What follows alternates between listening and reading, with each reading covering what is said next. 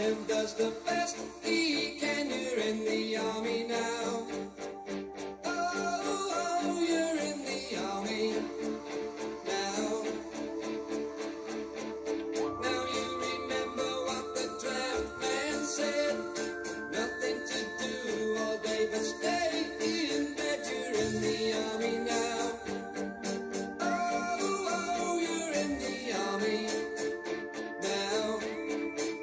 Thank you.